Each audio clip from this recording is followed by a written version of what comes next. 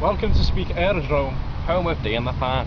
We've got some great acts playing like Kasabian and Blair Oh, yeah. Um, and there's also been headliners that Sean Dignam will be playing this year. and rumours of Ryan Cook. Wow.